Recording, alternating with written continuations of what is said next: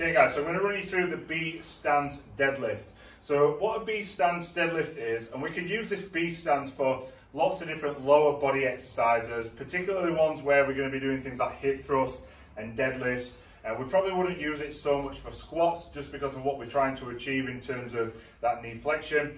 But when we think about how we might actually use deadlifts for like unilateral work, and you often think about a single leg deadlift, and then similarly we think about a single leg hip thrust.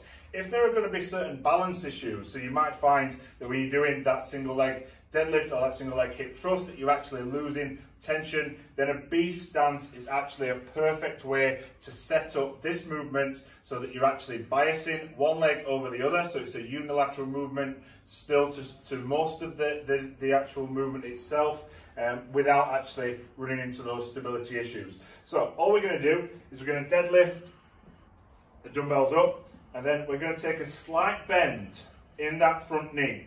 We're going to keep this back leg relatively stiff. As you can see, the front foot is positioned slightly further forward. We're going to come down into the deadlift. We're going to drive up. We're going to squeeze the glutes. So down into the deadlift, drive up, squeeze the glutes. And what this allows us to do is to change the profile somewhat of that lift so that we actually have more stability we're able to place more tension where we want it. Naturally, on this deadlift, you're to swap legs. So it's still to be considered a unilateral movement. So you're to perform the rep range for each leg.